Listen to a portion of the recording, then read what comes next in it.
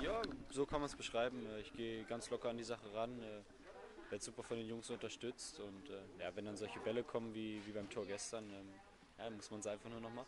Ja, ich denke, wir haben gestern gesehen, dass die anderen Jungs auch voll da sind, ähm, voller Leidenschaft, voller Kampf und ja, das Spielerische kommt davon ganz alleine irgendwann auch. Ja, vom Kampf her war es die letzten 14 Tage, denke ich, schon äh, auf einem sehr hohen Niveau. Versucht uns äh, einen klaren Kopf äh, zu bringen, äh, versucht, äh, dass wir einigermaßen befreit aufspielen können und äh, ja, fußballerisch müssen wir auf jeden Fall natürlich noch zulegen. Ich denke, in unserer Situation können wir einfach jeden Punkt gebrauchen, ist auch egal gegen wen und ja, auf die, auf die nächsten Wochen kommt es jetzt einfach an.